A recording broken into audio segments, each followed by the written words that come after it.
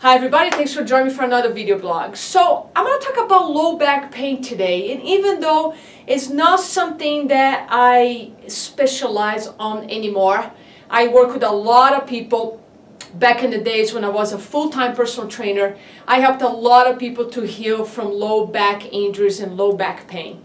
And the reason I'm sharing a personal story here with you about my own struggles with back pain in my late 20s and through my 30s is because a long time ago I made a video about the connection of low back pain and digestive stress, digestive problems.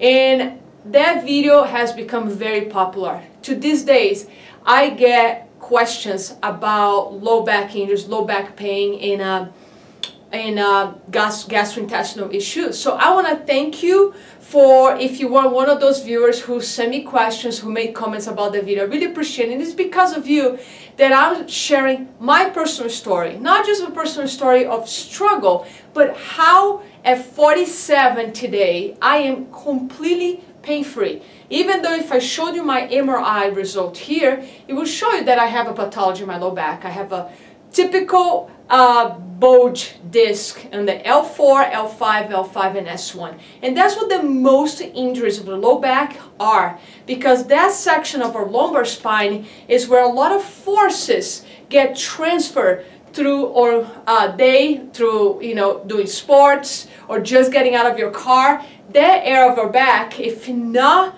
mobile enough not strong enough not functional enough um, we can create a lot of compression and wear and tear in that area and have an injury. So that injury, that those bulge discs could never be cured.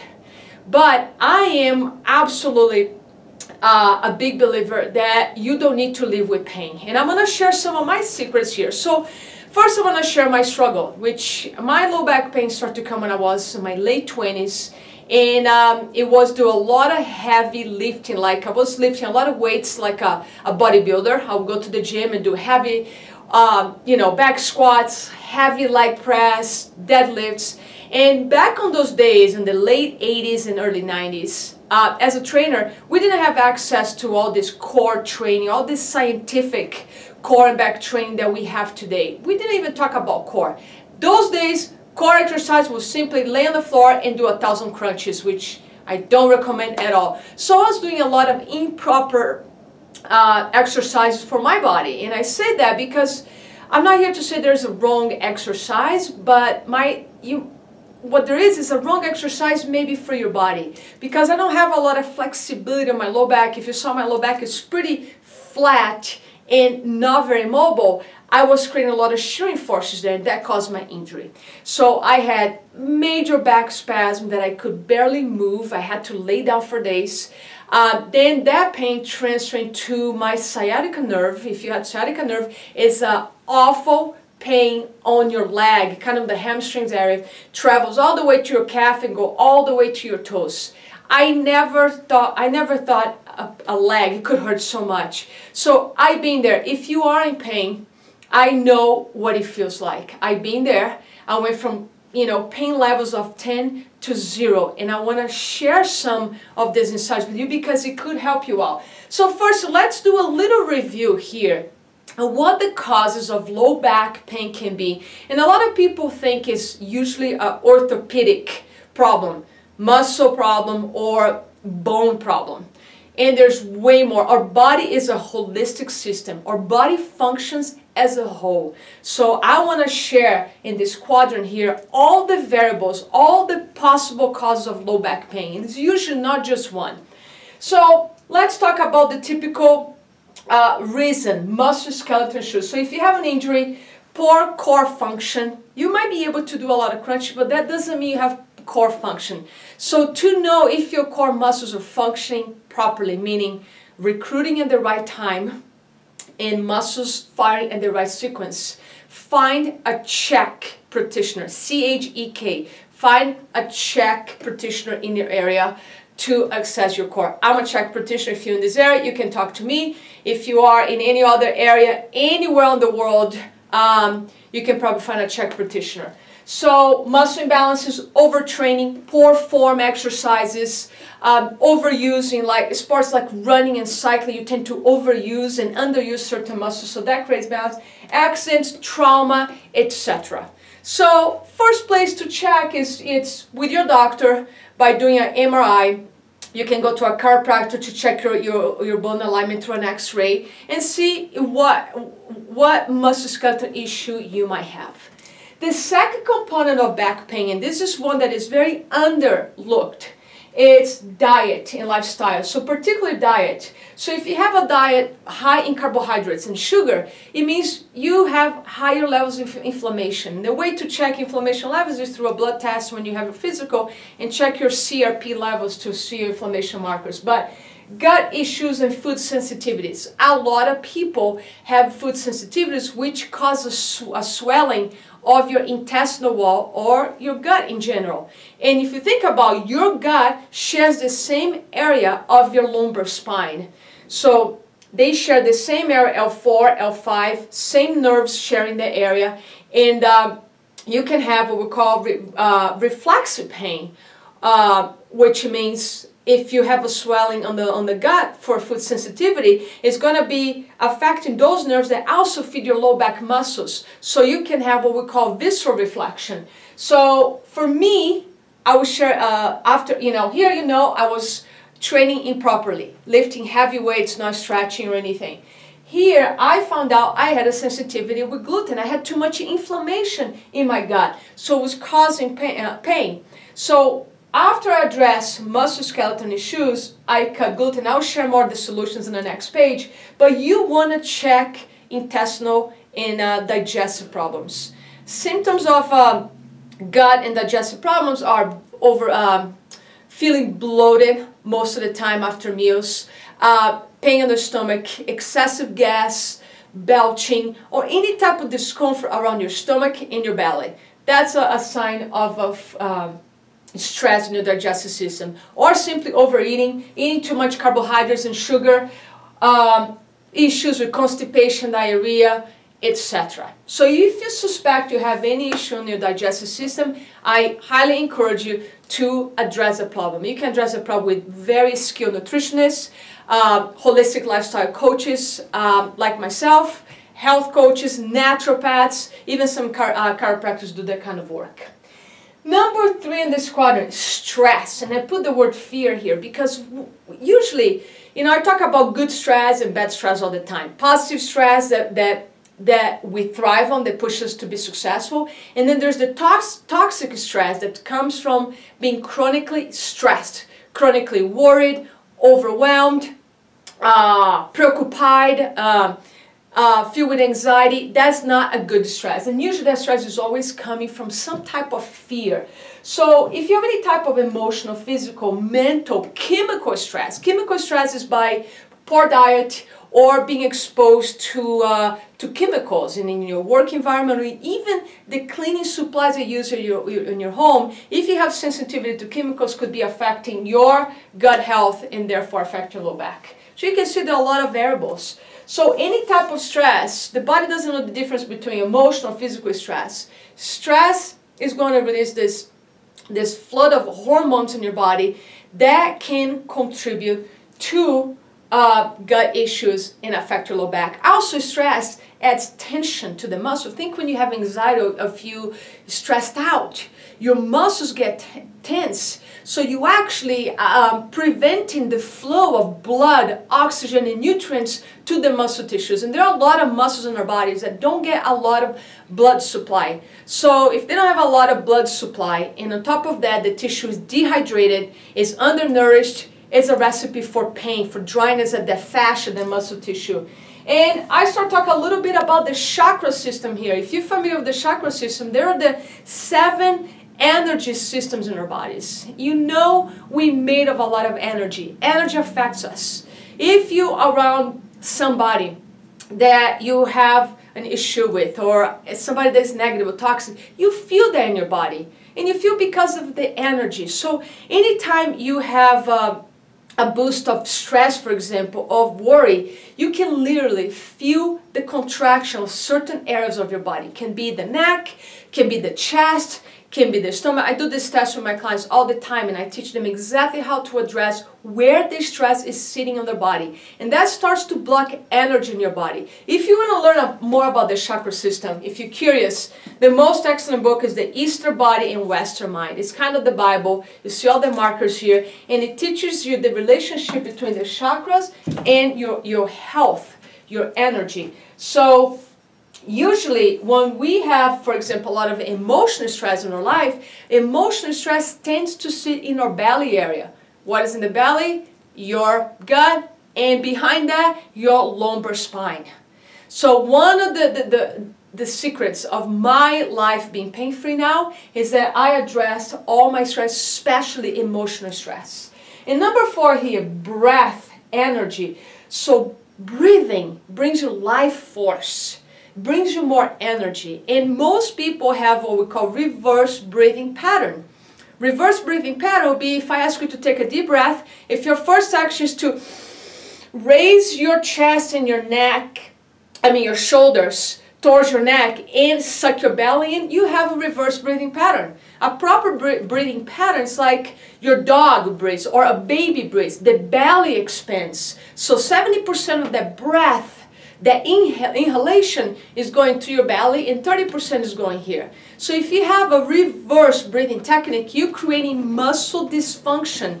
You're affecting the ability of your diaphragm to work properly, which is a biological pump in the body. Your diaphragm, your abdominals, your pelvic floor are muscles that help to send a lot of nutrition up and down to your body. So if you have reversed or improper breathing pattern, you also not getting a lot of oxygen in that area of your, of your body, your belly, which is doing your digestion, and your lumbar spine. So if there's not a lot of oxygen going there, there's not a lot of life force feeding those cells, those muscle tissues. So that can be a huge contributor to low back pain. That's why in times of stress, your pain might get amplified when we are in, in, in, in terms of high stress, the weak link in our bodies always going to suffer. Some people might be migraines, for some people might be low back pain. And uh, you start feeling like I talk here, energy stuck in your body. Like I would literally go to my naturopath acupuncturist when I was in a lot of pain and say, I have all this pain, it feels like this energy blocked that nothing could dissipate that pain except acupuncture, which was one of the, the secrets that fixed my back. So now that I share with you all the variables of back pain here, I want to share with you what I have been doing over the years that made me live completely pain-free. Now, I'm not saying this is what you should do. This is what works for me. But I'll highly encourage you for you if you are a victim of back pain think about all those um, variables that I share in that quad, quad, quadrant with you. Musculoskeleton, what exercise program you have, how you move in your body, work with a trainer or professional to help you, check your diet, your stress levels, and also how you're breathing. And again, all those things can be addressed by a CHEK practitioner in your area. And if you have questions about that, just shoot me a message in my YouTube channel.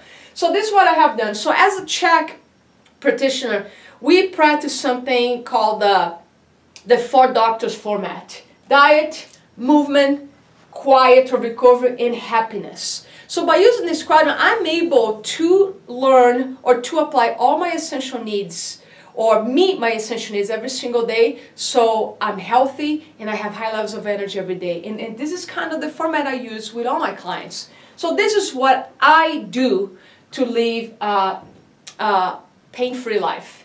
So my diet, I cut gluten, I eat 95% paleo, and I say 95% because being from Brazil, I love my rice and sometimes a good organic corn as well. I get all my greens, my veggies organically, so I get them from uh, um, the farmer's market or I try to buy, you know, whatever is fresh, local in my, in, in my, in the grocery store. My meats are only grass-fed or if there's no grass-fed option, at least organic or pasture-raised. I absolutely don't eat commercial factory-based meats. That can lead up to a lot of uh, toxic inflammation in your body. And hydration is very important. Every time my client comes here and he, he or she complains of pain, first question is, are you hydrating? So filter water, very, very important.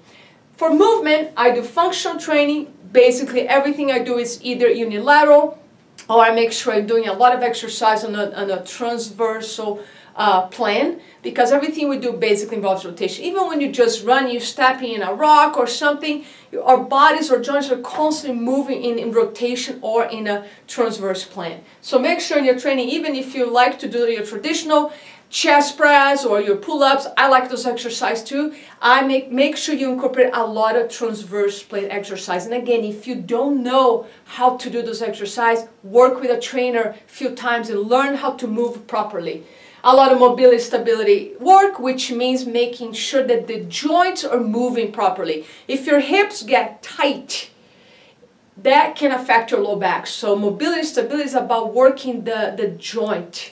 Make sure that joint can move freely. Not too much movement, but not strict movement either. I do a lot of mountain bikes, so I spend time outdoors. I do some Qigong for my uh, movement days or sometimes my recovery days. Kundalini Yoga has really helped me to get rid of residue back pain. I used to have this like little, little nagging tightness on the right side of my back. And Kundalini Yoga is uh, about a lot of breath work. So by doing a lot of breathing work for like an hour, I was able to eliminate the rest of the pain. And also to Kundalini Yoga helped me to deal with some emotional issues. So I became uh, more emotionally and mentally stable. And it's funny because the word stability we can transfer to our joints. Usually if you have a low back issue, it means you have what we call segmental instability.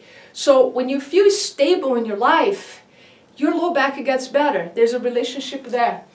And I practice walk meditation. I walk every morning where I simply go into a meditative state, gratitude, or sometimes I use my walk for some critical thinking as well, but that's part of my movement. So walk meditation can be either part of your movement, part of your happiness, or part of your quiet recovery. For quiet recovery, I make sure I sleep eight hours. It's crucial. We heal, our bodies heal and repair when we sleep. So if you're doing a lot of things, like you, you're moving a lot, you have, you know, a good amount of stress, which is healthy to have a good amount of stress in your life, and you're not recovering well, that can hurt your your body, especially low back if you have an issue there. So we heal and repair when we sleep. Physical repair and psychological repair.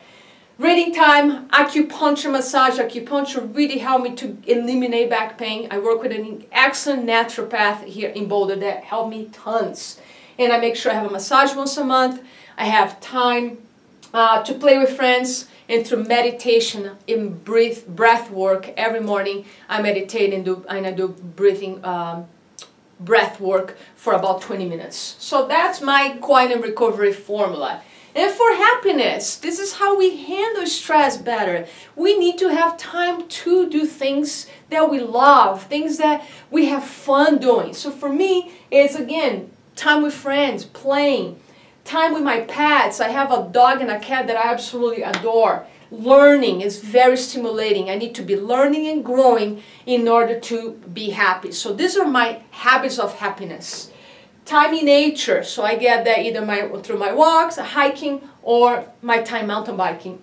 And great food and wine. I'm a big fan of gourmet food and French and Italian wines. So that gives me a lot of uh, pleasure and fulfillment.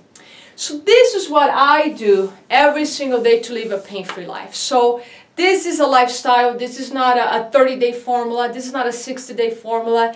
And I want to share this personal story with you because I see a lot of people out there giving up, selling down for having a life that is destined to be always in pain and I refuse to accept that. So if you are one of those people with live with a little pain or a lot of pain, consider looking at that quadrant. And if you have any question about things I discussed here today, I'm sure I'm going to see a comment from you, um, and I would love to engage with you and answer questions the best um, way I can. And I'm offering 30% uh, off if you want to learn about this stuff and you want to have um, two, three uh, consultations with me over the phone, over Skype. I can talk to you if you're in Japan, if you're in Europe, from anywhere, Brazil, we can Skype and I will give you 30% off my consultations if you're coming to me because of this video. If you're addressing low back issues, you have an automatic 30% off my rate. And again, I can coach people um, that live anywhere in the world because we have this amazing technology now. So I hope this video helped you and gave you, if you're in pain, gave you some hope. And if you're not in pain, you know somebody who is living a lot of back pain. And even if it's not low back pain, it might be an upper back pain, might be a shoulder pain, neck pain, this will translate to any kind of physical pain. Um, and uh, yes, please help me to share this knowledge and the love. Thank you so much. I appreciate you and I'll talk to you very soon.